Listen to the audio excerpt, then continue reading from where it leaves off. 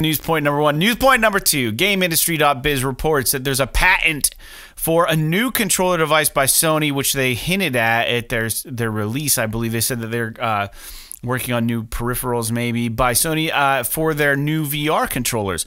And the patent shows a wand-like apparatus. Uh, specifically, mentions adaptive triggers and haptic feedback, much like the DualSense. This is good news. Did you look at? Did, did you see it? I did you saw, see the pictures? I didn't look look, but I saw diagrams from a distance, like the small thumbnail. But dude, I'll take anything over the Move controllers. Yeah, it, I mean, honestly, what it looks like is a mix between maybe the Move controller and like uh, the those controllers for the the Oculus, which are they're kind of like Yeah. they're like you grip it, but it's got like the strap that goes around your hand. Yeah, I've you know, used and them. you use like your thumb, and there's like a trigger, right? So, um, and you probably got one in each hand, and you kind of wave them around. Do Haptic fuck you want. feedback would be kind of cool in those too, for sure.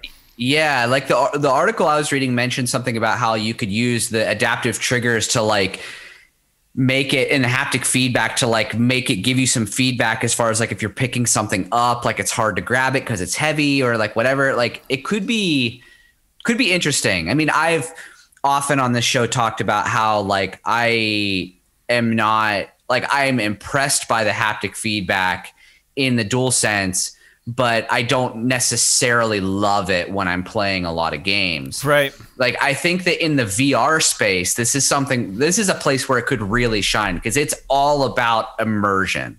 Right? Everything is about immersion and making you feel like you're in the game. Right. So if they can use these this haptic feedback on these little controller sticks that they've got common, um, you know, to be fair, it, it, it I put down wand like, but it basically what it looks like is imagine if you took a pistol and then just took like the barrel off of it. Right. So it was just like the grip part. That's what it mm-hmm. looks like.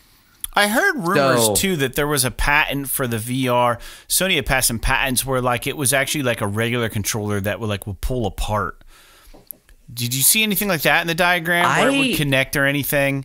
I've heard some rumblings about that, no pun intended, but I uh I didn't actually see the any articles about it, um, but I didn't really look that hard. That's fine. But I think that that would be something that would be interesting, you know, to have like a controller that you can kind of pull apart Break and then use in both hands, and then so that way you could use it as a controller, or you could use it as separate sticks for doing VR type something stuff. modular that could turn into like even like something where we could use like a gun.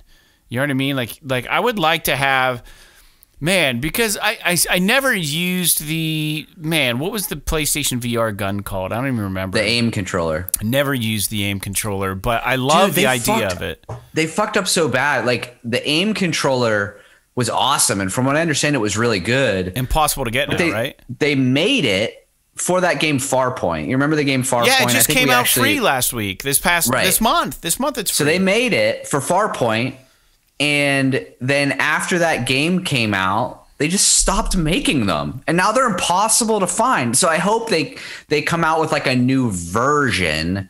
Or like a cradle for the new controllers that you can put mm-hmm. them in to kind of make it look like a gun, right?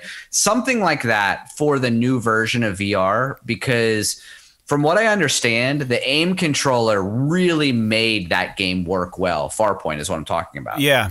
Apparently, it worked really great. Yeah. So yeah. Well, hey.